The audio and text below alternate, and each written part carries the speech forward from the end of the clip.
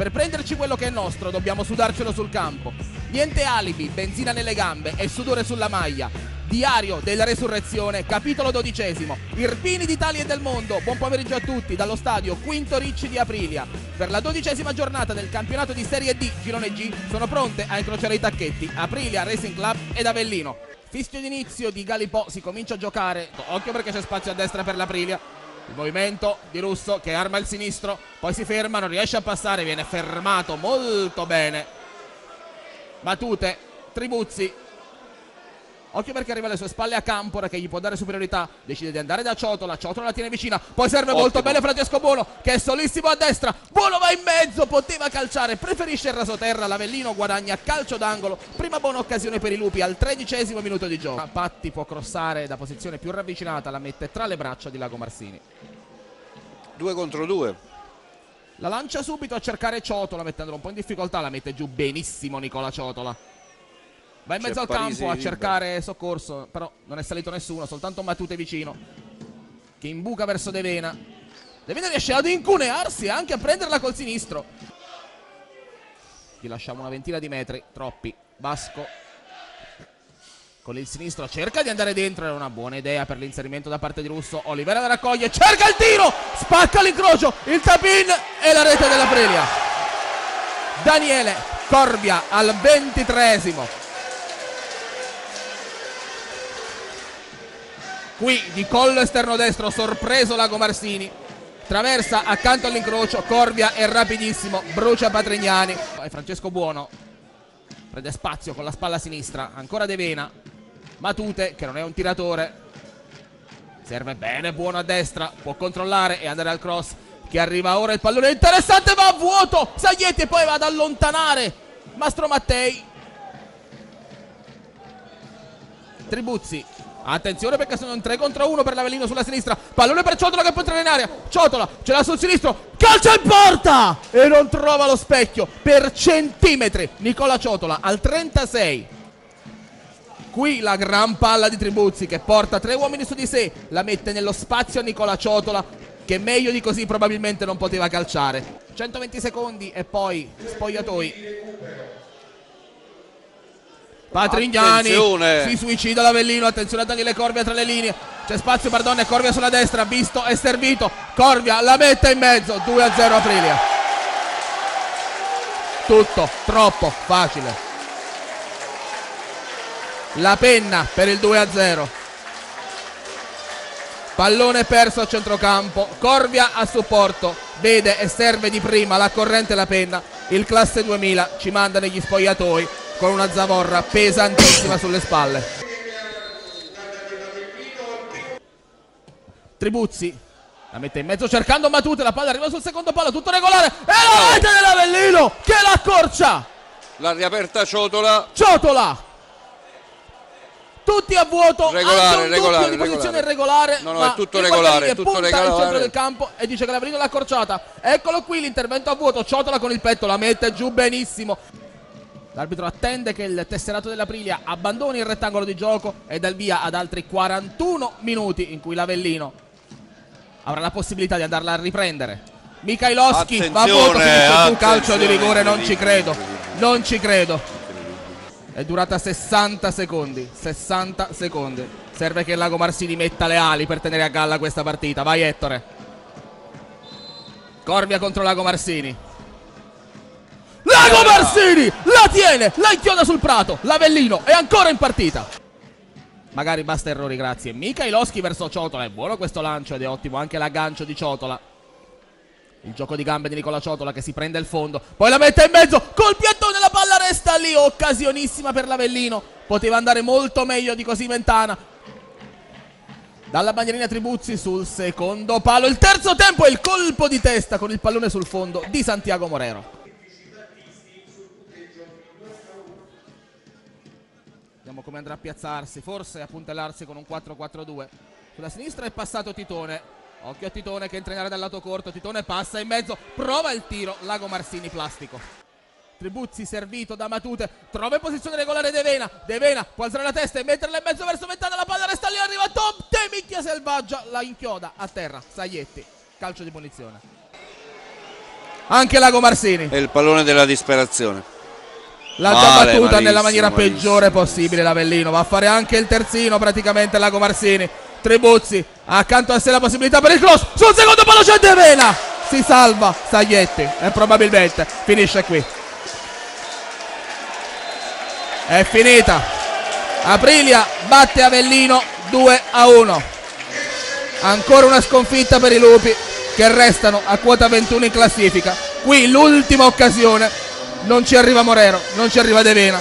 L'Avellino 6 vittorie, 3 pareggi, 3 sconfitte.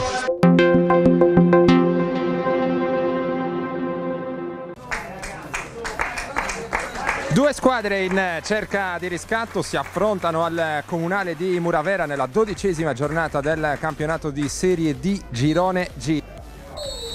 Arrivano che allora si parte inizia Castiadas Atletico. Preoccupato Idrissi va a sistemare la posizione dei compagni e poi arriva la parata. Grande intervento qui, ma non è finita la bomba. Tentata dal limite dell'area da Papa Serio, prima chance della partita per eh, l'Atletico. Si deve proteggere, va da Idrissi, messo in difficoltà. Attenzione perché la porta è sguarnita. Ancora un intervento da parte di Idrissi. Qui il pallone con l'esterno molto buono per Mesina. Tiro in porta col mancino incrociato, palla fuori. Manca il cross arretrato, Carrus sbuccia la girata verso la porta, poi in qualche modo Maci arriva sul pallone. Era libero per un istante Carrus, l'invenzione verso Manca e poi Maci che arriva sul tentativo di pallonetto dell'avversario. Alza la testa e vede dall'altra parte il compagno, si tratta di Neri, la battuta in porta, smorzata. Poteva essere una chance davvero ghiotta questa per l'Atletico. Attenzione al taglio di Mesina, manca, si sposta il pallone, ancora manca il tiro in diagonale, la parata, poi il pallone allontanato di testa dall'Atletico con Cotani. Ancora Mesina che cercava qui di prendere il tempo a Diemma, la battuta di Manca centrale in due tempi, Maci si oppone. Il suggerimento è interessante, il tiro in porta poi cercato da parte di Nanni. Tende l'inserimento di Mesina, lo stop con il petto, prova a girarsi la battuta in porta, il pallone fuori, non c'è stata deviazione. Si tratterà di rimessa dal fondo. Finisce qui la partita in attesa di tempi migliori. Castiadas e Atletico si accontentano di un punto a testa, finisce 0-0.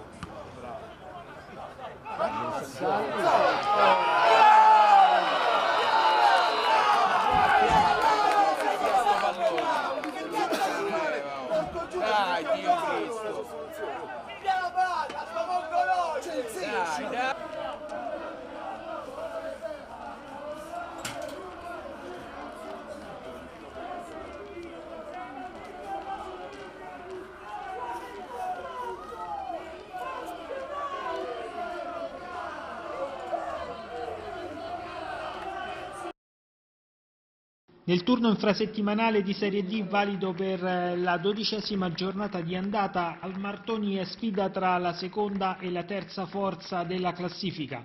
Il Monterosi recupera Farasca in estremis e lancia il neo arrivato Giuici dal primo minuto dopo il gol di Fregene al debutto.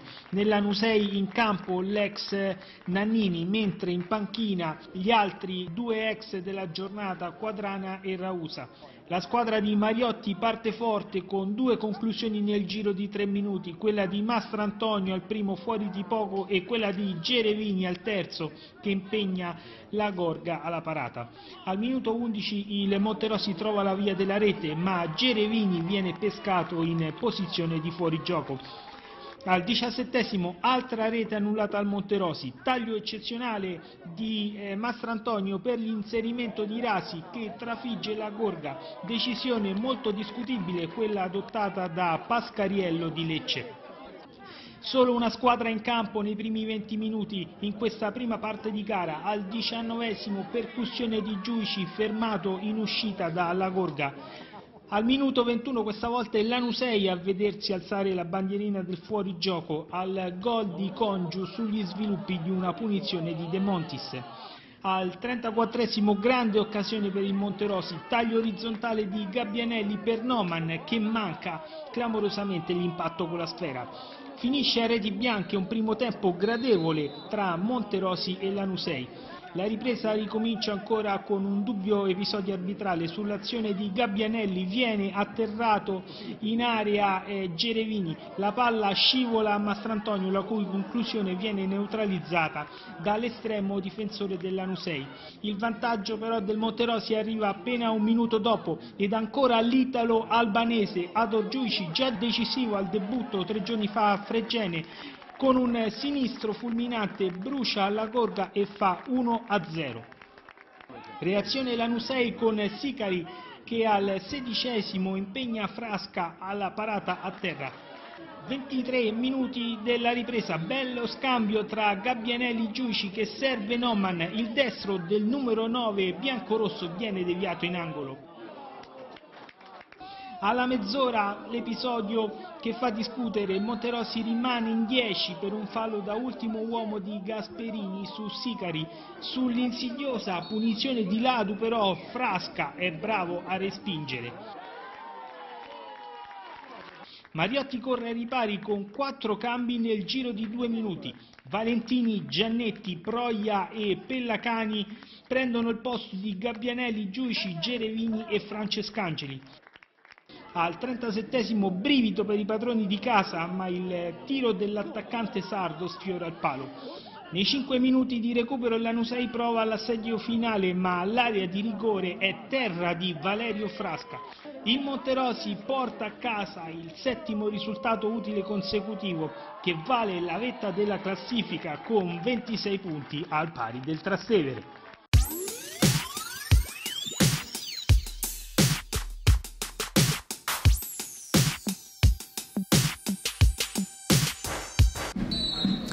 Ed è in questo momento scatta il fischio del signor Vogliacco Camarà. Al centro Marcheggiani stop di petto. Chiede il rigore. Marcheggiani viene fatto Marcheggiani che viene colpito dal numero 5 adesso c'è una discussione fra i due, stop Prisco. All'indietro, tentativo di passaggio a Marcheggiani, buona questa azione da parte del Cassino, Brac per Tomassi, Carcione. E questo è il corcione che a noi piace tanto, che tutti conoscono. E questa volta Tirelli lascia partire un diagonale preciso che costringe il portiere Tosolfas a deviare in calcio d'angolo. Quindi primo calcio d'angolo a favore del Cassino. Sulla bandierina Tirelli.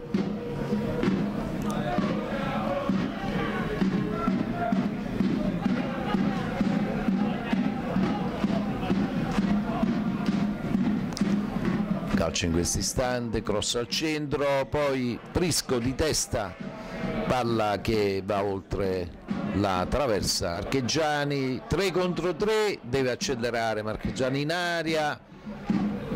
Tentativo di Tomassi poi Marcheggiani ancora. Si gira cerca la conclusione. Palla intercettata dal difensore rosso-blu Tirelli Lombardi. Al centro per eh, Prisco di testa Prisco impegna severamente Tosolfas però la palla viene, non è eh, potente il, il colpo di testa.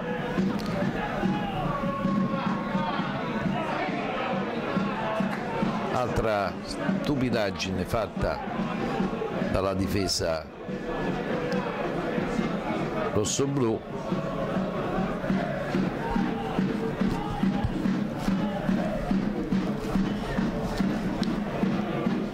Prisco serve Tirelli al centro Tirelli e schiaffeggia la palla all'ultimo momento il bravo portiere Tosolfas su conclusione di Umberto Prisco.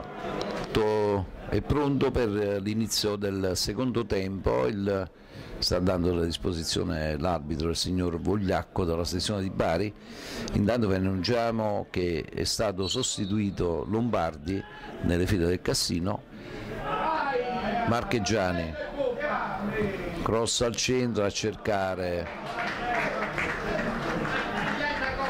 Tirelli che devia di testa ma la palla vola alta sulla traversa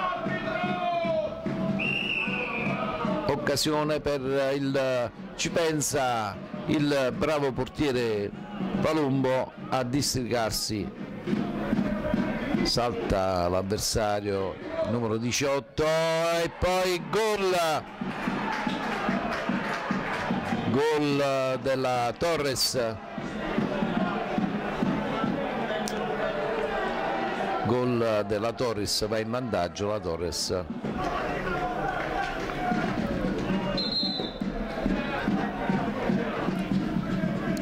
Tribelli scambia con Ricamato tentativo di cross per Marcheggiani Carcione Corcione scusate ancora tira da lunga distanza Capitan Carcione.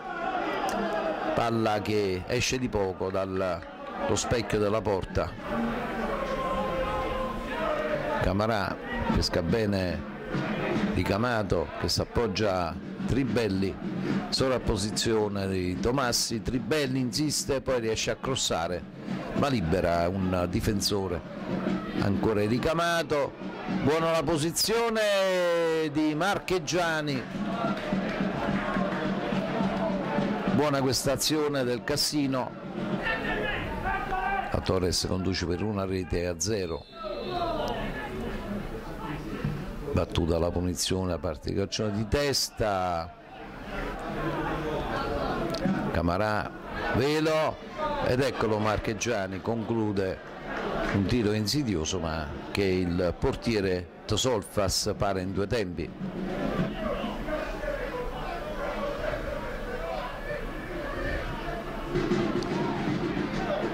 Supera tre avversari. Tribelli no, un tentativo di conclusione dalla lunga distanza poteva fare ancora qualche metro.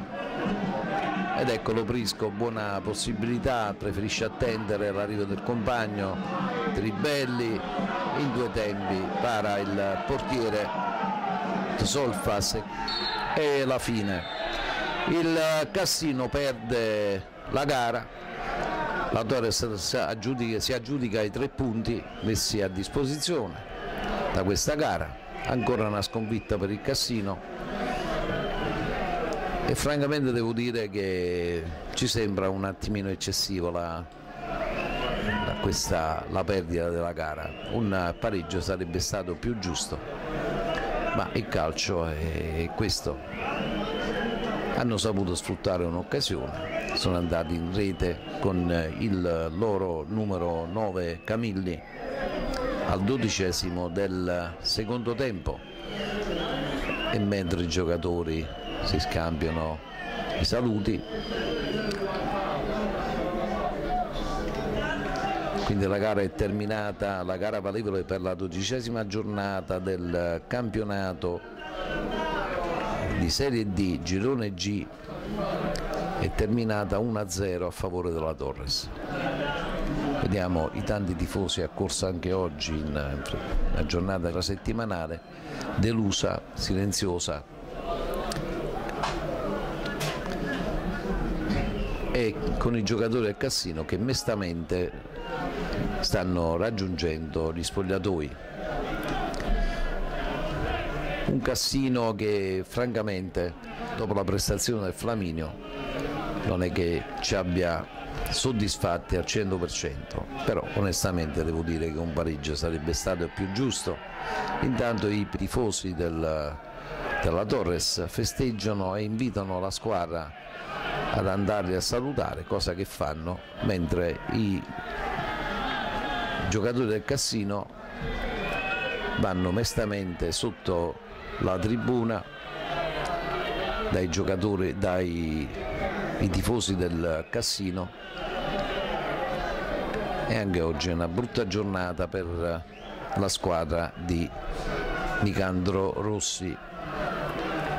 Vediamo che discutono vengono ripresi i redargui dai tifosi del Cassino che invitano ad essere più incisivi. Solita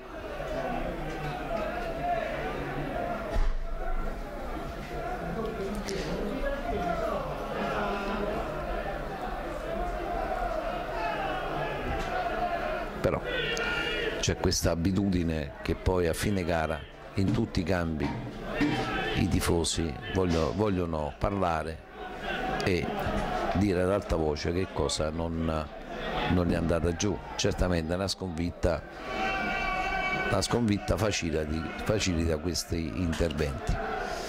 Siamo in compagnia con l'allenatore della Torres, eh, Sanna. Allora, mister, una vittoria che la verità se l'attendeva?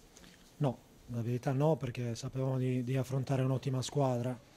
In casa aveva fatto anche abbastanza bene, ma devo ringraziare i miei, i miei, ragazzi perché hanno fatto molto bene, eravamo messi benissimo in campo, tutti hanno dato, tutti hanno dato il 110%, quindi sono molto felice.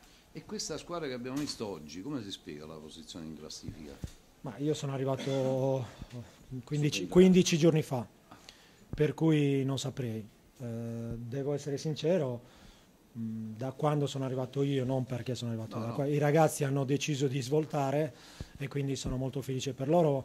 Hanno tutte le qualità per poter stare più su in classifica assolutamente. Adesso ti faccio una domanda a un tecnico, insomma. Eh, c'è stata un'involuzione da parte del Cassino Sabato, abbiamo assistito alla partita con Flamina, una partita bellissima. L'ho vista. Sotto tutti i punti di L'ho vista. vista. E si può essere una metamorfosi a distanza di quattro giorni? Probabile, è possibile che ci sia anche qualche ragazzo stanco, io questo, questo non lo so. Ho visto il Cassino e sapevo che, eh, che, hanno, che avevano certe caratteristiche e abbiamo cercato di bloccare soprattutto gli attaccanti che sono molto forti, Tirelli che è molto bravo, però mi sembra che i miei, i miei ragazzi abbiano fatto molto bene, tatticamente eravamo messi benissimo, i ragazzi hanno risposto bene e in più abbiamo anche recuperato qualche giocatore infortunato, eh, per la nostra rosa è molto importante avere tutti. Una sconfitta che francamente non ci aspettavamo dopo la prestazione del Flaminia, una partita che ha entusiasmato tutti quanti, compreso me che restavo sul posto. Però nel calcio può succedere questo, un'involuzione diciamo in quattro giorni. No, il fatto di giocare ogni tre giorni eh, dà queste, ci dà queste difficoltà però chiaramente loro sono stati bravi perché mh, si sono messi in campo in un modo che erano quasi tutti duelli a centrocampo, uno contro uno, noi abbiamo fatto fatica a sviluppare il gioco, qualche occasione che abbiamo avuto non l'abbiamo sfruttata bene, loro nel secondo tempo hanno fatto un paio di campi importanti, quello che è entrato che ha fatto il numero su Camarà, pensavo che giocasse dall'inizio, adesso non ricordo come si chiama, è un giocatore, sì, Serruzzi, un giocatore molto, importan sì, molto importante. E alla fine abbiamo perso, forse il risultato di parità era, era quello giusto, però c'è l'amarezza di non, di, non, di non, aver sfruttato di nuovo questo fattore campo. L'anno scorso per, questo era un campo dove, dove ci hanno lasciato le penne tutti, quest'anno facciamo fatica a fare i punti. È un peccato perché potevamo, dare, doveva, e, potevamo e dovevamo dare continuità alla partita di domenica scorsa. E, pazienza, così non, così non, è stato e c'è un grande rammarico da parte nostra.